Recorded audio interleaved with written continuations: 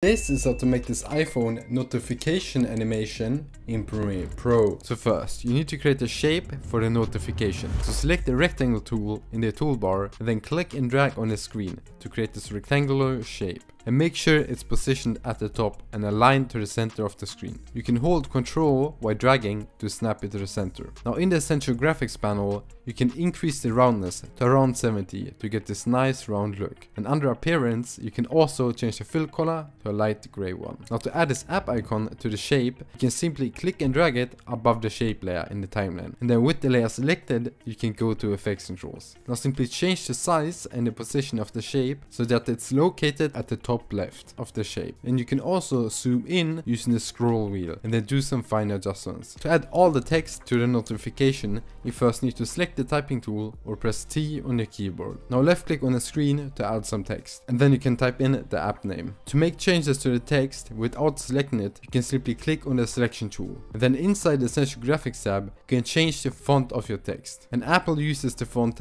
SF Pro Display. For the app name, they choose a regular font. And also, make sure the text alignment is set to the left. And this is so that if you want to change the text name in the future, it changes the text from the left. Now set the fill color to dark gray and then click on OK. Now adjust the position of the text so it aligns roughly with the center of the app icon. Now to add a time to the notification, you can duplicate the app name layer by holding Alt or Option on Mac and then drag it up one track. Now with the layer selected, go to the Essential Graphics tab and then change the text alignment to the right. And then you can change the position of the text so it's on the right side of the shape. You can now double click on the text and then change it to now or whatever time you like. Now press T on your keyboard and then left click and type in the sender of the message. You can also press Ctrl and A to select all the text. And then in Essential Graphics, change the font to bold and the fill color to a full black. You can now simply scale down the text and position it below the other text. And once again, make sure it aligns roughly with the center of the app icon. To add the actual message, you can duplicate the text layer of the author by holding Alt or Option on Mac, then dragging it up one track. Now select the text and then hold shift while dragging to move it down in a straight line. You can now set the text type to regular and then type in whatever message you like.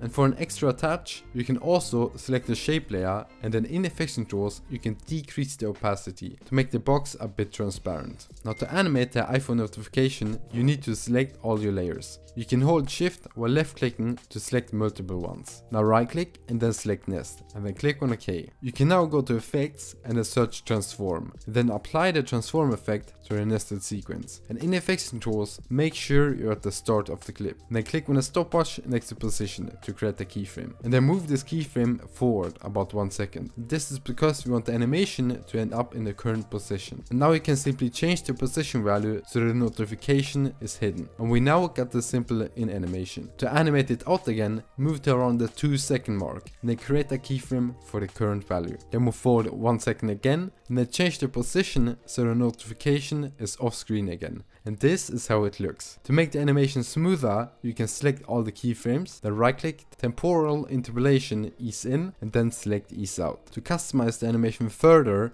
you can expand the arrow next to position. Then you can click on one keyframe to show these handles. Now simply drag the right handle to the left, so that the animation is fast in the beginning and then slower towards the end. And do the opposite for the end keyframes, so it's slow in the start and faster towards the end. And because we use the transform effect, you can also add motion blur by simply increasing the shutter angle to 360. We have now created this iPhone notification animation.